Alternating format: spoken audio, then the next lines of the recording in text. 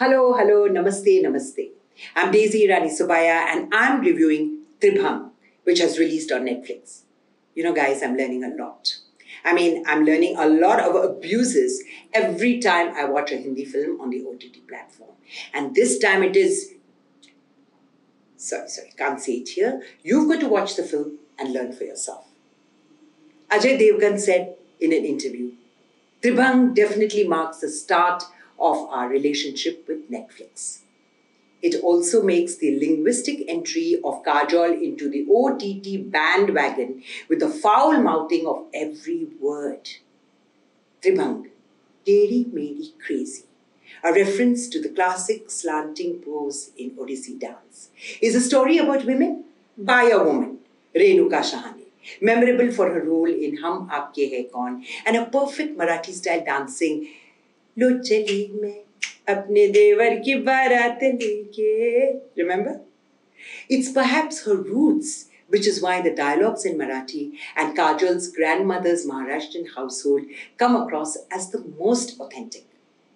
But it is not just about the three women tanvi azmi as nayan kajal as anuradha and mithila palkar as masha do it is also about nayan's mother-in-law from hell who kickstarts the whole dysfunctional family, and of Anuradha's teacher from hell. Hey Bhagwan, if teachers are like her, I would homeschool my kids. Among these women, of course, it's Kajol who grabs you by the eyeballs and the ears. She's an Odissi dancer who doesn't dance a single step. She's wonderful and gives us her 200%. Reminds one of her old movies. Very nice to watch very, very nice to the eyes. The supporting men's roles are by Vaibhav Tatwawaadi, the beautiful eyed brother who has taken up sannyas at Lord Krishna's feet. There's Manav Gohil as a pacifist partner of Kajol, and Kanwaljeet as an affable father figure. And of course, there's Kunaal Roy Kapur as Milan, the writer of Nayan's book.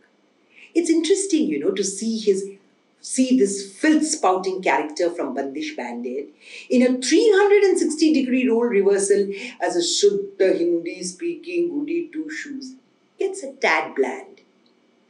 The plot is a story about three generations of women who veer towards diametrically opposite paths in life, thus overcompensating for what they found lacking in their own mothers.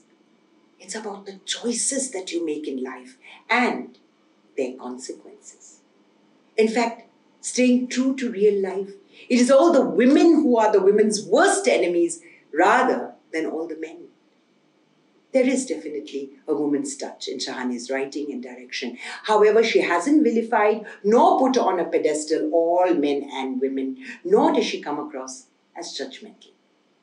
Even the sacrifices the women make, rejecting individuality in an orthodox family like Masha does, or rejecting a conventional life as Anuradha, or putting her passion for writing above all else, as does Nayan, are all their own choices. And that is what makes Renuka Shahane's Tribhang very, very, but not crazy. So, as a woman, how many laddus do I give this film? I give this film three laddus. if you like the review, if you agree with it, do press like and remember to subscribe to Connected to India. Namaste, namaste. Thank you. Enjoy.